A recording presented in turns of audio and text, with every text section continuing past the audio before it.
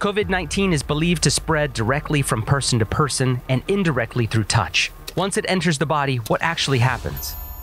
The virus enters the body through the eyes, nose, and or mouth. Once inside, the virus begins to attack, taking 2 to 14 days for symptoms to appear, with a median period of 5 days. Inside the body, the virus first travels through the upper respiratory tract. It goes to the back of the nasal passages and to the mucous membranes in the back of the throat. That's the place where symptoms such as dry cough, fever, and shortness of breath, and in some cases sore throat, headache, and fatigue may start. Mild at first, but in some cases they gradually get worse. Throughout, the virus penetrates the cells, replicates and kills the host cells. Some people who become infected are asymptomatic. They don't feel anything at all. If the case becomes more severe and the body can't fight the virus, the virus will trek down the windpipe and enter the lower respiratory tract. The major target? The lungs. There, it can cause more respiratory problems such as bronchitis and pneumonia. A severe form of pneumonia typically involves shortness of breath combined with a persistent cough. The lungs' air sacs become inflamed and fill up with fluid or pus, making it hard for the oxygen you breathe in to get to your bloodstream. In a small number of severe cases, acute respiratory distress syndrome can develop when oxygen can't get to the red bed blood cells and to the rest of the body. It may require a patient to be placed on a ventilator to supply oxygen. If too much of the lung is damaged and not enough oxygen gets to the rest of the body, it could lead to organ failure and possibly death.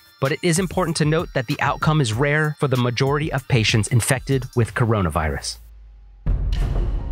It's hard to differentiate the differences between men and women right now because, like, you know, a lot of people say and a lot of specialists say, there just isn't enough data to say definitively why more men than women. I mean, there have been previous studies that have shown that women just have overall better health. If you are preconditionally healthier, than somebody else. You know, if you're healthier before the virus, you're going to recover better than somebody else who isn't as healthy. But in China specifically, the reports had shown that most of the men were smoking and most women weren't, but it wasn't statistically significant to have a, a specific outcome. You know, when it comes to your uh, sense of smell and taste, with other respiratory illnesses like the common cold, it's usually a buildup of mucus that causes that loss of smell. But with the coronavirus, that's not the case at all because the coronavirus doesn't have a buildup of mucus. What happens is is the virus starts first it enters through your upper respiratory tract, so like your nose and your mouth, and it starts attacking that.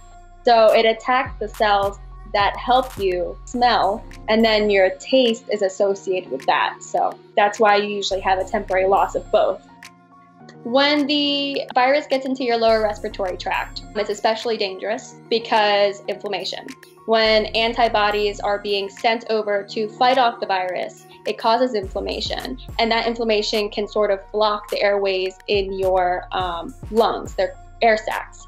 And blocking that is really dangerous because then it's hard to put oxygen into the blood, to pump that oxygen into the blood, and it's hard for that oxygen to get into other organs in the body, specifically the heart, the brain, other stuff like that. And that's when people come up with acute respiratory distress syndrome, ARDS.